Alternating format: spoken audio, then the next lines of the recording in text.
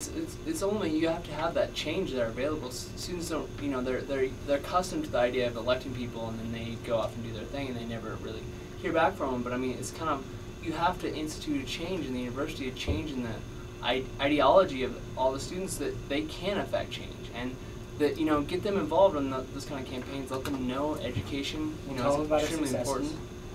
And, and let them know how to get involved. And, you know, I mean, there's a lot of students that would love to get involved. They just don't really know how. They don't realize that it's as easy it is as it is. And they don't realize that, you know, ultimately they, c- they can really do big things for the university, whatever position they're in, whether they're in leadership position or not. I mean, they can, a lot of campaigns that are, have been launched at the university, some of the most successful ones have not been through student government or have been through somebody who is, has a lesser role in student government. And at the same time, we're comfortable with making decisions without telling students. Um, there are certain things that we're being elected to do.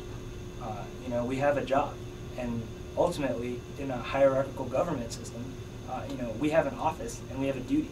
We're going to make decisions, um, and so you know, not every student's going to care when we institute, you know, a graduated um, incorporation of fluorescent light, compact fluorescent light bulbs in classrooms not everybody's going to care about that because there's not going to be any fee increase because it's going to be gradual.